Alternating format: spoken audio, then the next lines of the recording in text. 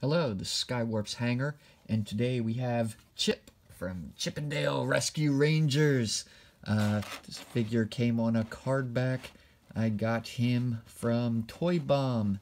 Uh, I have a friend that uh, owns the company, and he shipped the entire wave to me, and uh, very happy with it. Excellent store.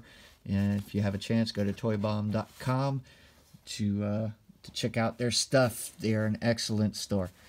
Uh, this is the card back he came on. You see Chip, collectible action figure from Disney and Funko. Funko made these, which they did a pretty good job. Um, and as you can see, there's the card back. You have Chip and Dale that you can get. They don't show the other ones that are in the wave. Um, but nonetheless, on to the figure. Chip is kind of cool. He looks all Indiana Jones-ish. I like him. Um, okay, for articulation, he can turn his head from left to right. He can look down just a hair. He can look up just a hair.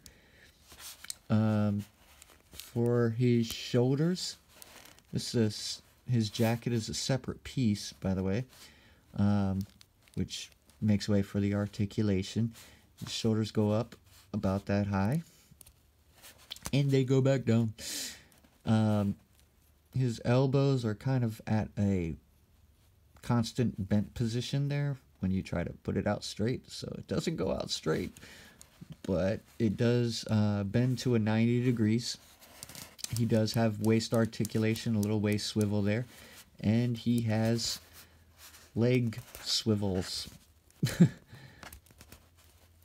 so there you have it.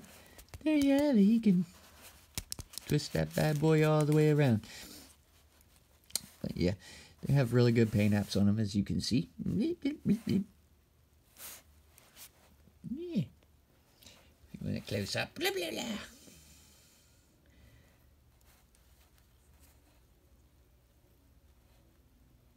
That's pretty cool.